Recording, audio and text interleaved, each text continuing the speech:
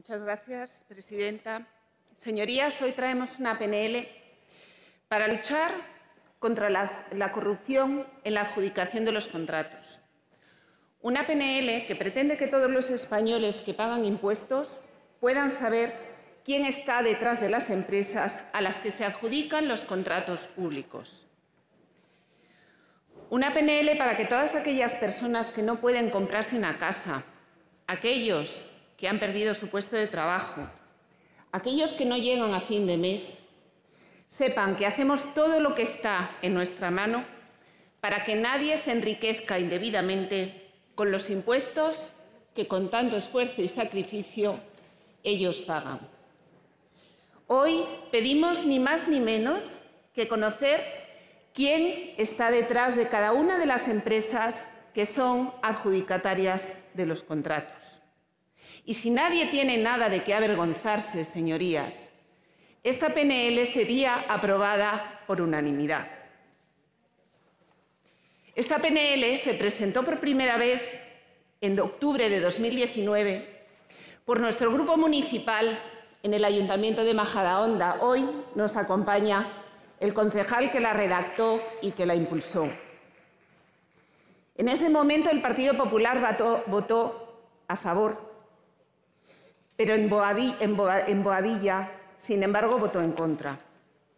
Pero votó a favor también en Arganda, en Galapagar, en Leganés, en Móstoles, en San Agustín de Guadalix y en San Sebastián de los Reyes.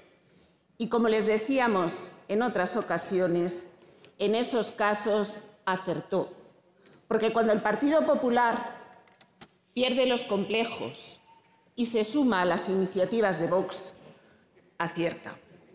Señorías, Vox está firmemente comprometido no solo en la lucha contra el gasto superfluo, sino también contra la corrupción en todas sus formas. También contra la corrupción económica, porque necesitamos medios económicos para poder atender las necesidades reales de los madrileños. Decía el secretario general del Partido Popular, el señor García Egea, que lo que destrozó al PP de Madrid fue la corrupción. Y no le falta razón. Fue la Gürtel, trama de adjudicaciones irregulares en Boadilla del Monte, en Arganda del Rey, ha sido la Púnica, en Móstoles, en Valdemoro, en Getafe. Ha sido Lezo y ha sido el canal de Isabel II. Ha sido la ciudad de la justicia. Todos estos casos de corrupción, señorías, se han producido utilizando los procedimientos habituales para la contratación. Sin embargo, ni la Consejería de Transparencia ni la Intervención ni siquiera han sido eficaces para prevenir la corrupción en muchos de estos casos. Hoy por eso traemos esta iniciativa, una iniciativa para conocer la titularidad real de las empresas, para saber quiénes son las personas que, como fin último, están detrás de cada una de esas entidades. Esta propuesta nos permitirá, señorías, prevenir las prácticas corruptas que tanto daño han hecho a nuestro país. En marzo del 2020, cuando la pandemia irrumpió con tanta fuerza en la vida de todos nosotros, fue necesario activar el procedimiento de emergencia para dotar a los hospitales de todos los medios necesarios para luchar contra la pandemia.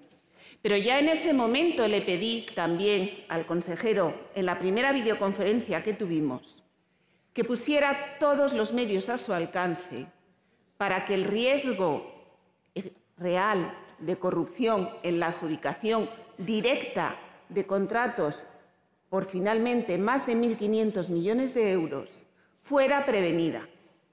Hemos revisado muchos de esos contratos en la Comisión de Vigilancia de las Contrataciones y tengo que decirles que ni tan siquiera se ha documentado el que se haya pedido ofertas a más de una empresa. Hoy, por eso, solicitamos que en cada una de estas adjudicaciones, en cada una de las adjudicaciones de los fondos públicos, podamos conocer quién está detrás. Los españoles que no pueden comprar una casa, que no llegan a fin de mes, tienen derecho a saber si hay alguien que se está enriqueciendo, que se está comprando ese chalet debido a un mal uso de sus impuestos.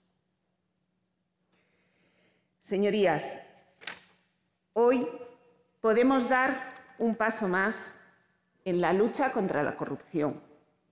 Sé que este Parlamento solo atiende a la Comunidad de Madrid.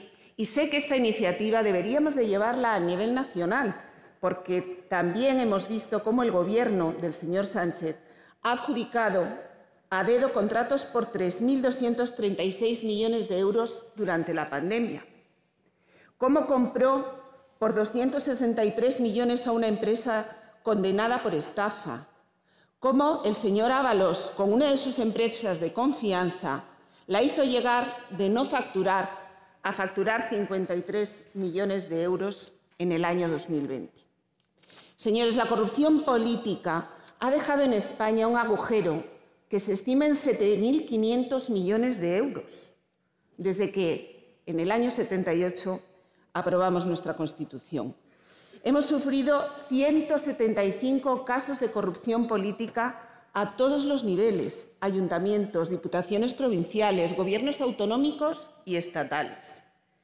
Creo que es el momento de poner pie en pared y decir que basta ya. Creo que es el momento de profundizar en una transparencia real y que todos aquellos que trabajen con la Administración nos muestren su cara. Que cuando aquí hacemos una vigilancia de los contratos podamos también acceder a la titularidad real de todos aquellos que trabajan con la Administración. Espero, señorías, me gustaría que hoy pudiéramos alcanzar un acuerdo general para sacar esta propuesta adelante. Muchas gracias. Señor consejero, ¿usted cree que pueden ocultar información a los españoles? Esta PNL hoy se aprobará aquí pero usted sabe igual de bien que yo que en breve será una exigencia. Será una exigencia. Porque, mire, me decía mi compañero, el señor Calabuch, cada vez que un particular tiene que hacer un negocio en el mundo privado, tiene que ir con sus papeles, tiene que ir al notario. Mire, si ustedes no quieren publicar el acta de titularidad real, a mí no me importa, no, no vayan al notario, quítele creen un registro. Hagan lo que quieran, hagan lo que quieran. Pero ocúpese de que no le quede ni la más mínima duda a ningún madrileño de que ha hecho todo lo posible y les digo, no le digo que usted asegure que no ha habido ninguna contratación fraudulenta. Le digo que ha hecho usted todo lo posible por evitarlo. Y si usted hace todo lo posible por evitarlo, yo le apoyaré. Pero yo le pedí, señor consejero, que llamara a todos los órganos de contratación y les pidiera que exigieran tres ofertas. Y no sé si es que usted no lo hizo o que ellos no le obedecieron. Pero cada vez que yo he preguntado y sus compañeros estaban presentes en la Comisión de Vigilancia de las Contrataciones, lo que me he encontrado es que la única vez que se adjudicó a dos empresas se hizo un reparto salomónico, 50 y 50. Y si no, pregúnteles porque fueron la semana pasada. Mire, yo no le digo que todas esas personas hayan actuado de mala fe. Yo no he hecho ni un solo juicio de valor en esta intervención acerca de ningún contratista, ni uno solo, ni he dicho un nombre, ni he acusado a nadie. He pedido que este Parlamento, y no sé si cuando la diputada del Partido Popular me ha dicho que mm, no se podía, o sea, a mí me ha parecido entender que ha hablado en nombre del Gobierno.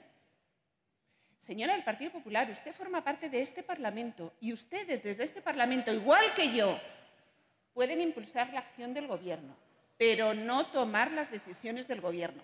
Y si lo que me están pretendiendo decir es que el Gobierno ya directamente dice que nunca va a hacer caso a una propuesta de este Parlamento, a mí me parece fenomenal. pero que lo diga claro, no a través de un portavoz que no es el que no debe tener. Señorías del Partido Socialista, me quedan diez segundos para decirles que me alegro muchísimo de que a partir de ahora en los ayuntamientos no solo el Partido Popular lo vaya a apoyar, sino que también lo va a... Gracias, señoría. Gracias, señoría.